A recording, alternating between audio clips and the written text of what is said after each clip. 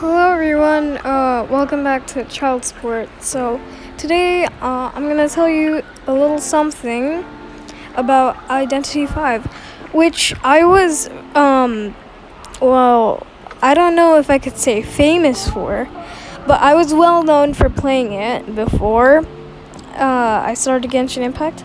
Yes, uh, I'm sure that 20 subscribers are, are very much well known so, um, what am I saying?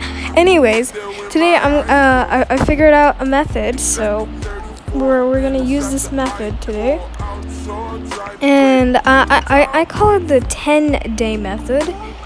So basically, what you do is farm 10 dice for every day for 10 days, which gives you 100 dice.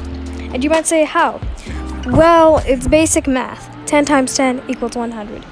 So, um, it's it's a really easy method. Just save 10 dice every single day for 10 days. And uh, yeah, I'm starting it.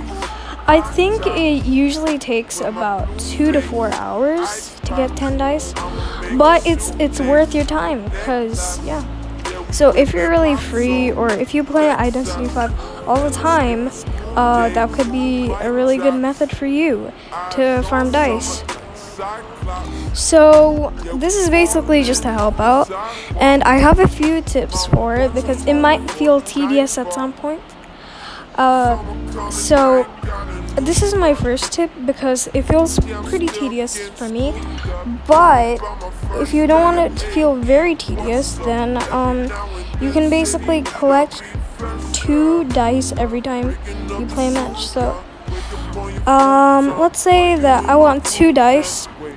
So, I collect that two dice from playing a few matches, which I think like three. Yeah, so three, including the like three win bonus. So, uh, I have like two dice now so after playing three matches, I, I go away for an hour, and then I collect another two dice, then another two dice, and then another two dice, which will quickly add up to ten. So uh, th- that's one of the methods I use, and usually um, it's kind of hard, but like after the three wins, uh, I suggest you still farm because I think it takes about four matches to get one dice. So that would be like roughly 20 minutes. So maybe try that. So yeah. And yeah, that's it for today. I hope this tip was helpful. And uh, I don't think it's very phenomenal. I think people have found out this before me.